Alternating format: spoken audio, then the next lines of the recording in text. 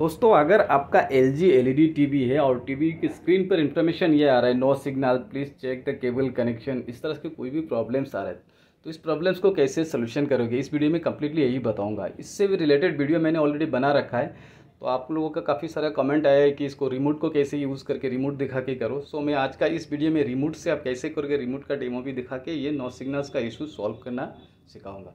यहाँ पर देखिए, एक Tata play setup box connected है। तो आप टीवी स्क्रीन पर क्या आ रहा है? नो सिग्नल्स आ रहा है। तो वीडियो का कंप्लीट एंड तक देखिएगा दोस्तों। इस वीडियो में कंप्लीटली यही बताऊँगा नो सिग्नल्स इशू को कैसे सॉल्व करना है। नमस्कार दोस्तों, मेरा नाम है संजय। आप देख रहे हैं टेक्निकल कॉन्सेप्ट दोस्तों चैनल पर। अगर नहीं तो चैनल को सब्सक्राइब करें। साथ में नोटिफिकेशन बेल प्रेस करके ऑल करें, क्योंकि मेरे इस चैनल पर ऑलवेज आपको T V and D related videos मिलते रहेंगे। सो ये प्रॉब्लम्स होने के रीज़न होता है कि आपका सोर्स का सही सिलेक्ट ना करना या फिर कनेक्शन का प्रॉब्लम तो कनेक्शन रिलेटेड अगर प्रॉब्लम्स है देन आप मेरा और भी वीडियो से वहाँ पे जाके कनेक्ट कैसे करते हैं सेटअप बॉक्स टू टीवी ये देख सकते हो।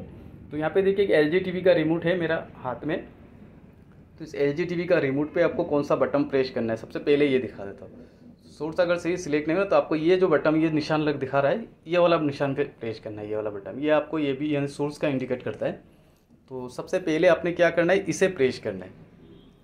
ये टीवी का रिमोट पे, ध्यान रहे टीवी का रिमोट पे करना है, आपको सेटअप बॉक्स का रिमोट पे नहीं तो इसे प्रेस करना है। इसे जब भी आप प्रेस करोगे ना, नीचे सारे सोर्सेज का लिस्ट आ जाएगा। देखिए यहाँ पर antenna A V H D M I ये जो आपका सोर्सेज का लिस्ट है सारा लिस्ट यहाँ पर शो हो जाएगा।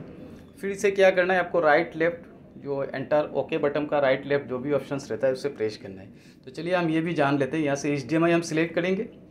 एच डी सिलेक्ट करते ही मेरा यहाँ से पिक्चर्स चलने लगेंगे। सो चलिए यहाँ पे देख लेते हैं एक बार और, इस सोर्सेज को सिलेक्ट करने के लिए आप अगर सोर्स बटन को प्रेस करने के बाद और कौन कौन सा बटन को प्रेस करना पड़ता, इसे भी जान लेते हैं। चलिए इसे जानने के लिए दोबारा रिमोट को यूज़ करते हैं यहाँ से। ताकि आपको समझने में आसानी हो। तो देखिए, यहाँ से सबसे पहले आपने क्या करना है? ये जो सोर्स वाला बटन है, इसे प्रेस करना है। इसे प्रेस करने के बाद यहाँ पर ओके है ना? देखिए, यहाँ पर ओके एंटर तो सेंटर वाला बटन का राइट एरो को प्रेस करने से आपको इधर आने की मदद मिलेगा और लेफ़्ट वाला को प्रेस करने से इधर। तो इसको प्रेस कर करके आपको ओके कर देना है। जहाँ पे भी जाना है, यहाँ पर ओके कर। सो फ्रेंड्स इस वीडियो में बस इतना तक ही।